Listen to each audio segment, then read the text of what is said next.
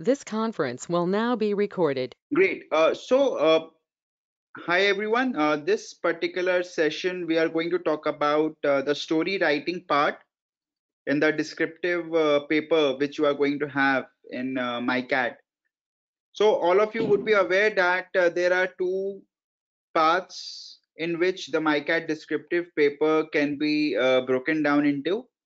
First part is where you need to write a story. You will be given around four pictures. Uh, you have to write a story which covers those four pictures in it. And uh, then you will have another set of three questions which are more around argument writing where a particular topic would be given to you. So this particular session, we are going to specifically talk about story writing. And in the next session, we are going to talk about the argument writing. Now, story writing. Now, first, first question which a lot of people ask that what is the ideal length of the story?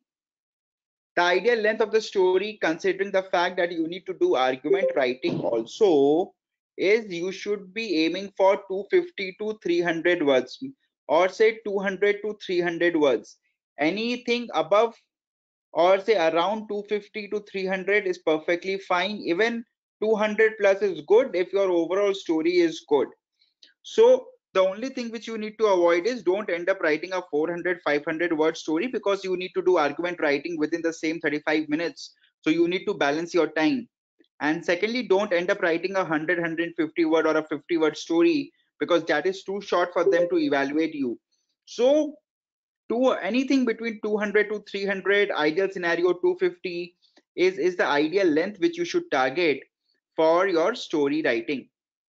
Now one more thing which i've seen is you know because you get four pictures and those four pictures are labeled as a b c d or one two three four at mm-hmm. times i see i see that some people in the story they try to put up one two three four or a b c d wherever they are covering those pictures. You don't need to do that.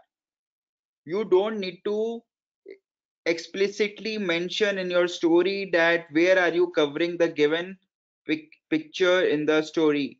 That is not required they will understand it. You are only required to cover all the four images in the story.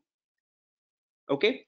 Then one more thing which i see uh, you know uh, as a question that comes up do we write a title for the story or do we not write the title for the story or is it mandatory or something? See ideally go and write the title of the story. It's good to write it. It always shows that you are very uh, structured in your thought process. Even if you will miss out at writing the title of the story that is not going to lead to your disqualification. So you don't need to worry on not being able to come up with the title of the story. But yes it is always good to come up with the title of the story so that it reflects your strong candidature. So from your own performance perspective yes topic of the story is good to write. But from the exam perspective it is not something which is mandatory to write. Okay? That's another thing. Now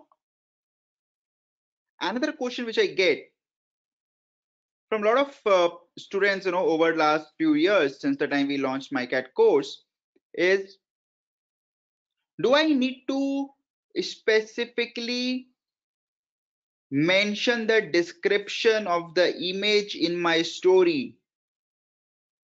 So for example, if blue clouds or, or a serene river is given to me in the image, do I explicitly need to write the clouds or the river in my in my description of the story in, in as a part of the text of my story? There is no hard and fast rule around this you can explicitly mention the description of the image or you can use it to set up the context also. So for example if you if you get the image of say river mountain etc you can use it to set the context of the overall background in which your story is developed rather than specifically mentioning the words rivers mountains etc in your story. It's it's the all the images should be covered they can be covered directly or they can be covered indirectly. But yes all the four images need to be covered. You can use some of them directly in your story. You can use some of them indirectly in your story. Is it clear so far? Now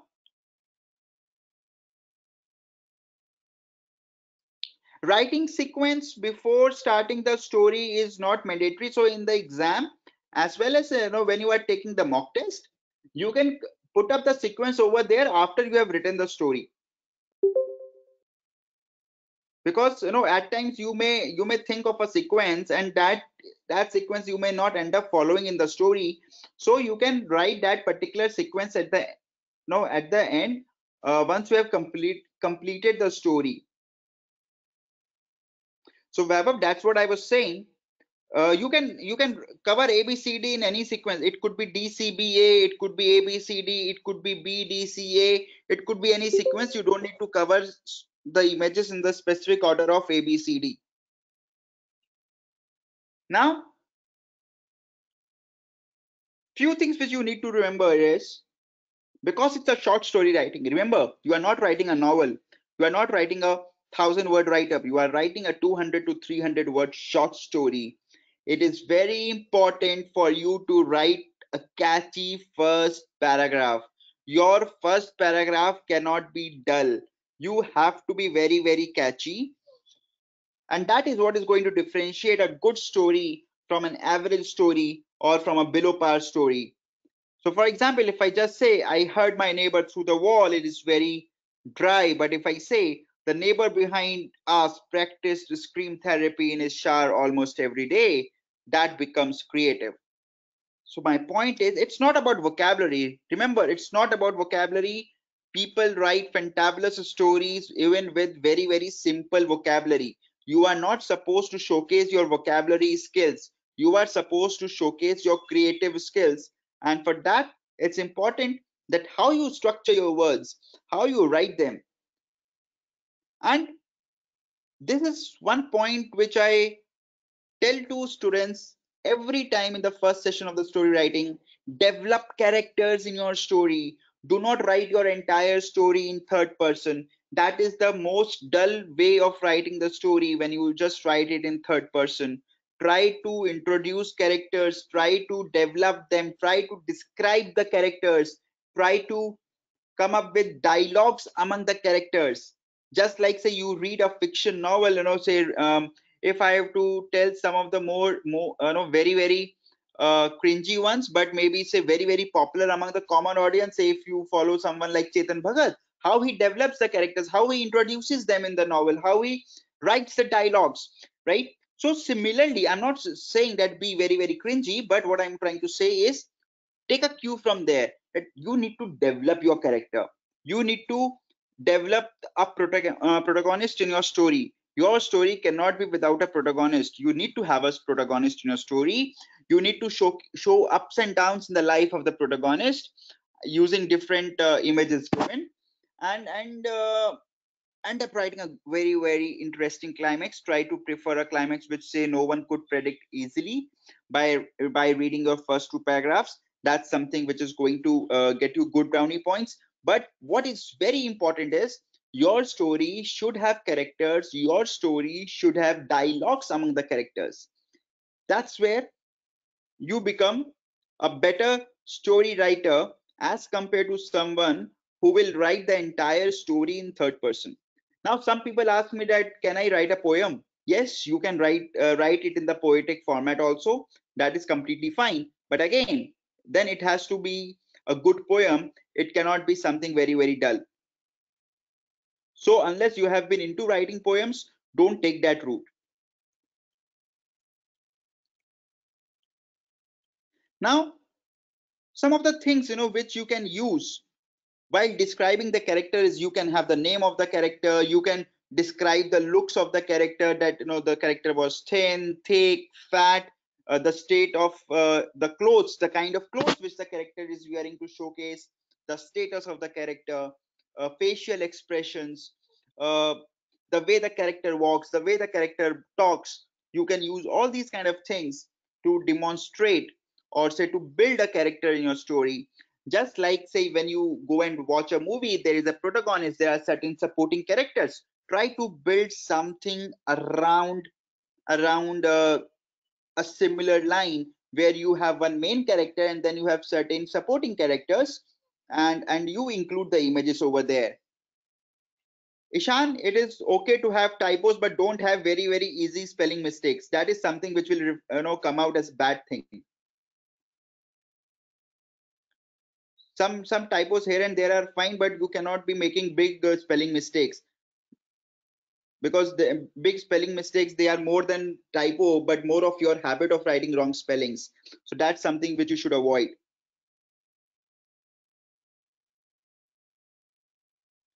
now as i said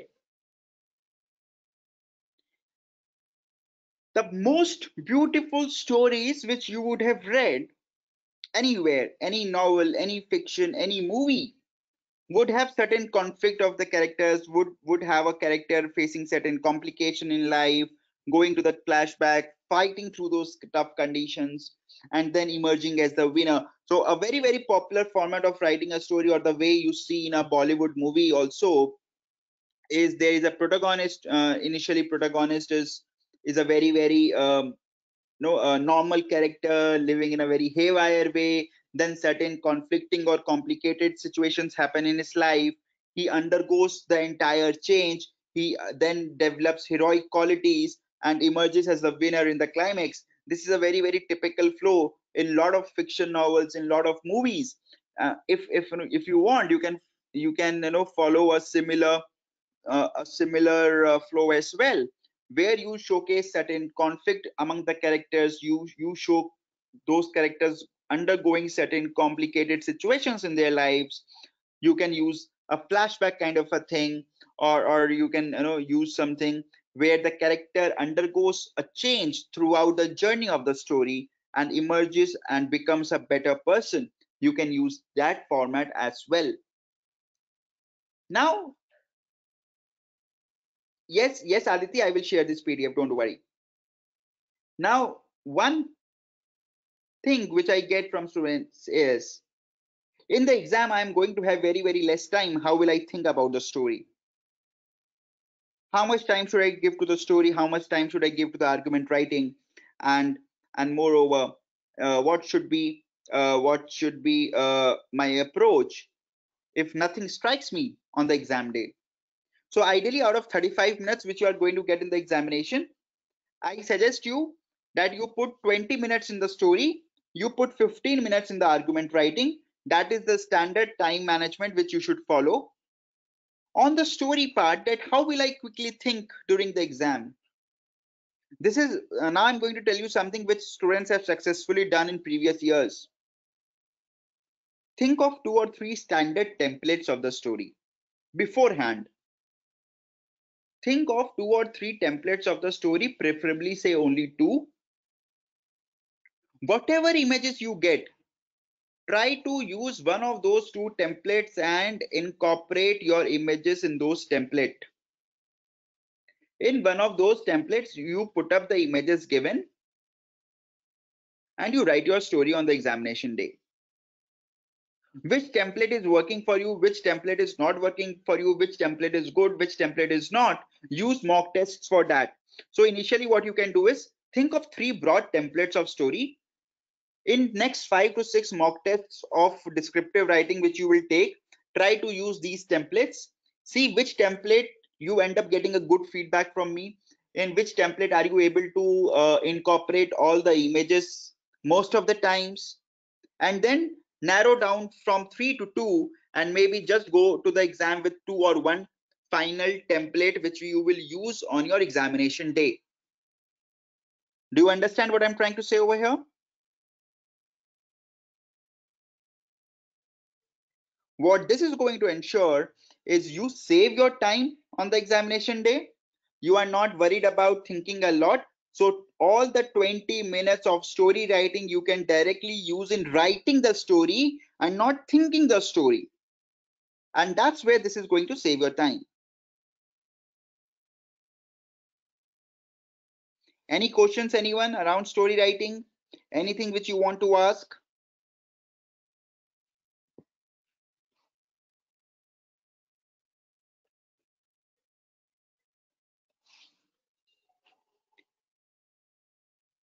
okay so have you all started to take your descriptive writing test so far Ishan, I will never share a template with you. Template is what is students' own IP. We we never share one student's template with others. As as you all will start taking the tests, I will share some of the best written stories, but I will never share a template of a of A student with a B student. But as what I will do is for first five tests which are going to get submitted, I will share with everyone the best stories written and the best argument writings written so that you get an idea that what are those people doing who are writing some good stuff. Thought process, Ishan. Thought process, Ishan, as I said, has to be on the lines where you have one protagonist in your story. So I remember long back, you know, there was a student, uh, she used to go with the thought process where she is going to use a daughter and her mother in the story. She will show the complications, the conflicts in their life. And it she will use how the daughter makes or say how the daughter faces those complications and conflicts and emerges or say makes the duo come out victorious. Whatever images she will get she will put into this.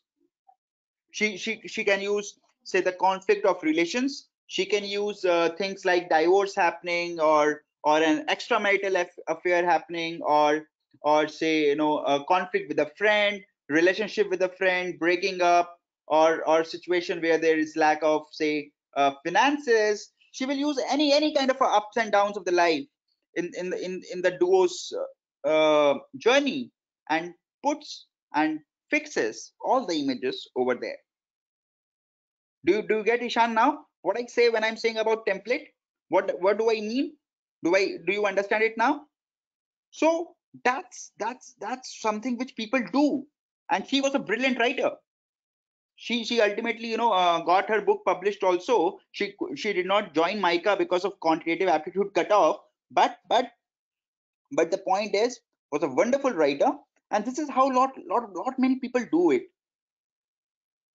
so my point is and if very, very good writers also decide to go to the exam with a template in mind, that is how we all should be doing because that is something which is going to lead you saving your time and ultimately end up writing a good story.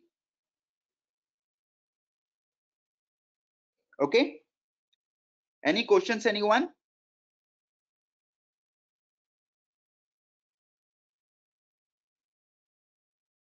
Now, just to ensure that all of you can start writing uh, start taking your descriptive writing tests let me talk a bit about argument writing also now whenever you are writing an argument writing test you will get a topic you have to write for the topic against the topic and the editorial view about the topic the standard thing which you should follow in your argument writing to be able to get brownie points is try to include real life facts, real life figures, real life examples in your argument writing. If you can include real life examples, correlate them to the topic given and incorporate in your answer, you will get brownie points. If you can talk about the standard facts, standard news, etc., things in your write up, that is going to get you brownie points in argument writing. At times, people say that what if I don't know the figures? What if I don't know the numbers to include over there? Come up with a hypothetical number, which is which is say somewhere somewhere in the broad broad broad uh, ballpark range, and just say in the paper according to XYZ survey, this percentage of people face this thing which is related to the given topic in this way. No one is going to go and check the survey. No one is going to go and check those reports manually while evaluating your paper. But you come out as a well-informed writer in your argument writing. And that is where you will get brownie points. Facts, figures, real life examples.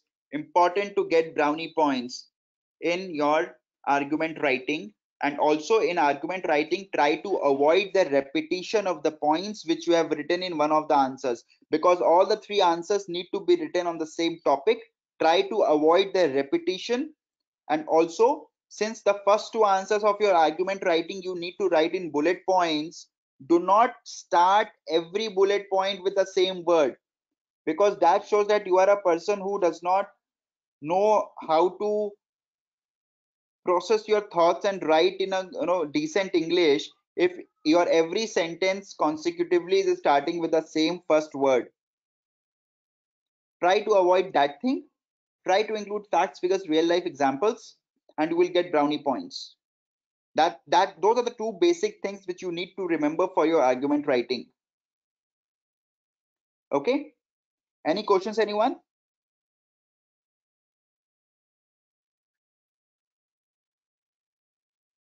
Akshita, out of the three answers of argument writing, first two answers are to be written in bullet point and the last answer is written in paragraph. The answer which is written in paragraph needs to have 100 to 150 words uh, limit. Within that it is fine. And in the bullet points answer, you need to write three to four bullet points each. There are three answers you will get in argument writing. First two to be written in bullet points, three to four bullet points, each bullet point of 10 to 15 words. Last answer to be written in paragraph 100 to 150 words.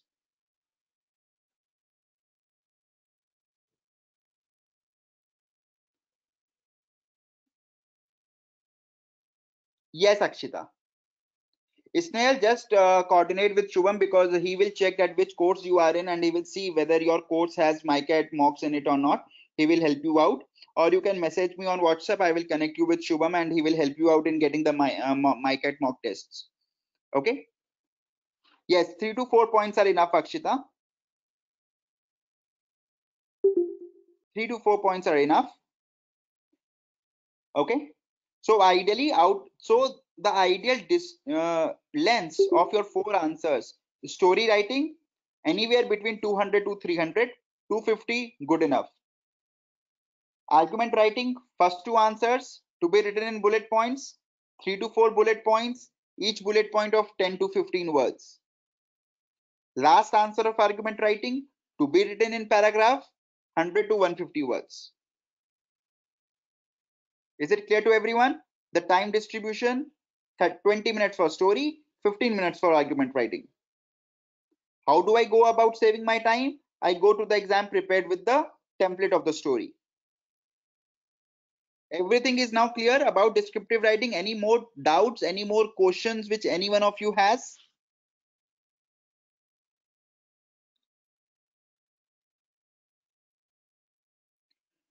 okay so from tomorrow or whenever you feel like please start taking descriptive writing tests also every descriptive writing test i will be evaluating it manually when i send you the feedback i will send you your marks out of 1 to 10 on a scale of 1 to 10 for story, I will send you your marks on the scale of 1 to 10 for argument writing.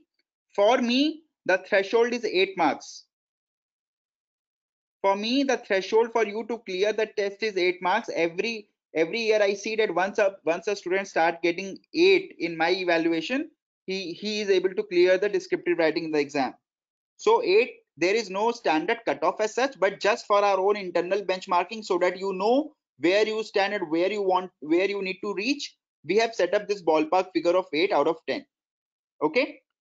Yes yes uh, this this particular uh, video will be available to you khushbu. Uh, i will upload it and i will share its recording with you this pdf will also be available with all of you. Uh, this pdf and the video will be there in your course accounts by tomorrow. Akshita the first five descriptive writing tests which are which are live in your course accounts they are all based on the questions which have come over last three years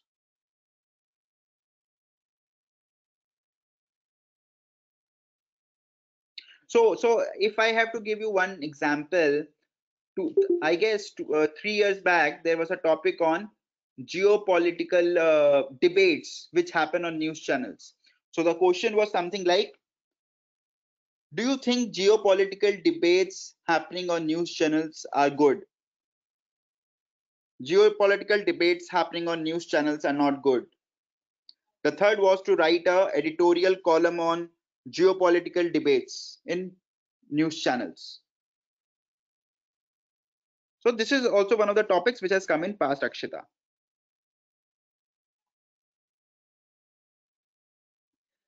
Ishan, it it has to be subjective, but if you are a good writer, your your subjectiveness shall not make the reader not understand that which picture is your uh, inference talking about. You can go to any extent in your inference till the time the reader is make is able to make out that your inference is from which picture.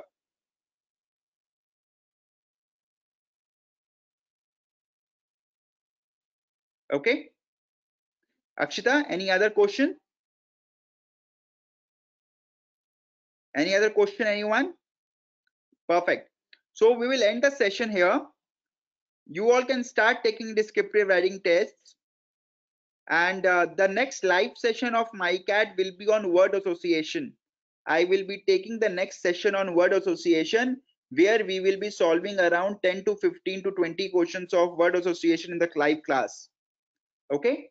Word association and visual reasoning are two important topics of your convergent divergent thinking section. And now, as you will start taking your descriptive writing tests, I will start sending you the feedbacks. As I said, I will I will evaluate you on the scale of 1 to 10 for story, 1 to 10 for argument writing, and you need to target crossing 8 as the threshold in my evaluation. Okay? Perfect. Great. So, Ishan, we, I will send you the feedback. Don't worry, I'll, I'll send you the feedback by tomorrow. Great. Uh, so, uh, thank you, everyone. Thank you for joining. Uh, recording of this video will be available to you. In case you have any queries about story writing, descriptive writing, please feel free to ask in the group. Vatsal, you will get all the pending feedbacks for psychometric as well as for descriptive tomorrow. Okay, perfect. Thank you, everyone. Thank you. Good night.